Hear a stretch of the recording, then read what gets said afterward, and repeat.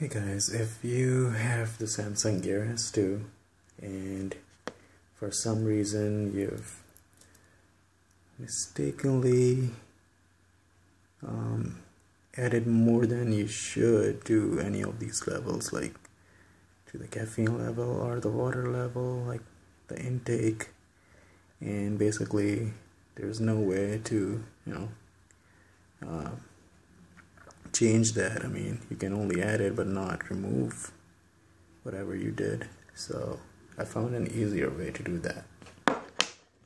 So all you do is um, on your device, let's go to your Samsung Gear S2 menu and then go to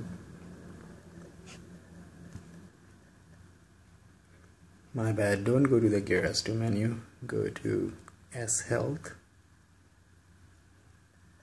and then you'll see your the water level, I mean the amount of water you've intake.